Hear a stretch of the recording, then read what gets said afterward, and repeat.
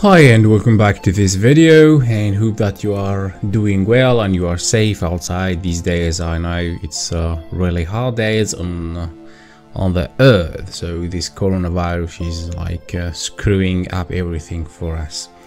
Um, but despite that we need to keep going and we need to keep doing our things and today I would like to share with you a solution that uh, it took me a while but I found the solution to it or problem that I found uh, um, that took me a long time to find a solution which is running uh, and install uh, PrestaShop into WSL uh, WSL1 by the way. So previously I was doing that on um, on a Docker and it was kinda let's say let's admit that it was a bit slow and uh, yeah but it was doing the things but uh, on the WSL is much more quicker than uh, the W the, than the Docker. I'm kinda uh, lost.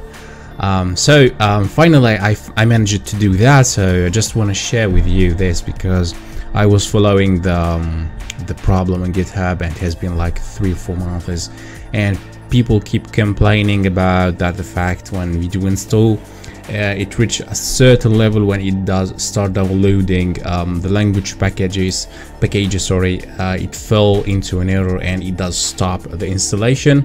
And it seems like it turns out that it's problem related to WSL itself not to uh, PrestaShop uh, on its files or whatever.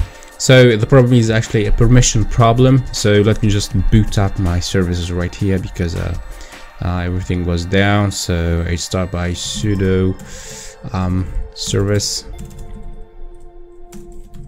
Apache 2 start. Okay I misspelled the password. Okay now if I do refresh I'll be having my um, the classic PrestaShop um, page front page and um, the solution for this is uh, all the credit to um, to uh, a dude called Brian Turek. Hopefully I spelled the name correctly. So he did explain all this uh, in details and what was the problem exactly and how to fix it. And right here I'm running into 500 because um, the MySQL service is down. So I have to just turn it up. Let's take a second. Oops, still down. Okay, still not booted up. Okay, just give it a second.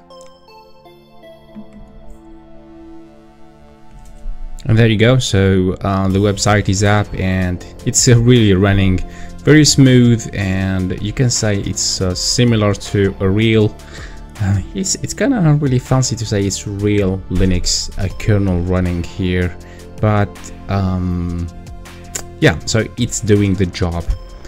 And at least we have that commands of Linux since I cannot do a real Linux because I, I strayed a lot into that. So let's do, don't get into uh, another subject. So I'll just uh, so I'll be sharing the link with you in the description of this video to the to the to the correction or to the fix. And simply you have to execute and simply you have to create um, a WSL config file under your etc uh, by default.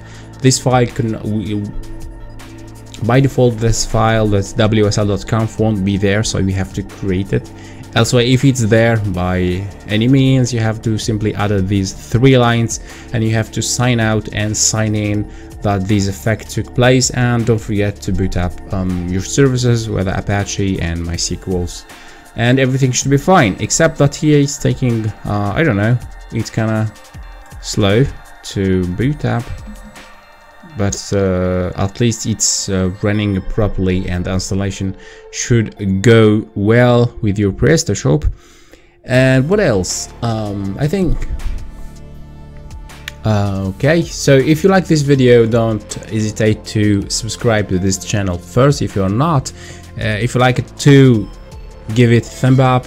Uh, if you like the three, put and leave a good comment. Uh, if you need any kind of suggestions or you have any question about whether PrestaShop or uh, Node.js and recently Java, then don't be shy and use that bloody comment box below uh, thanks for watching and see you in another one